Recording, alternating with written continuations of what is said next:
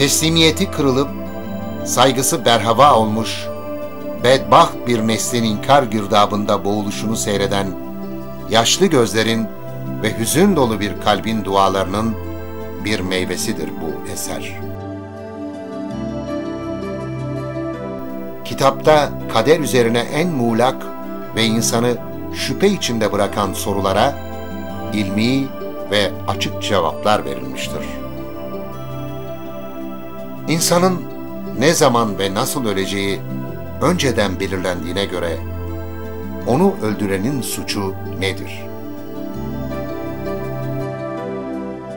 Günah işleyen kişi kendi iradesine uyarak mı günah işler yoksa Cenab-ı Hakk'ın irade-i külliyesi mi günah işletir?''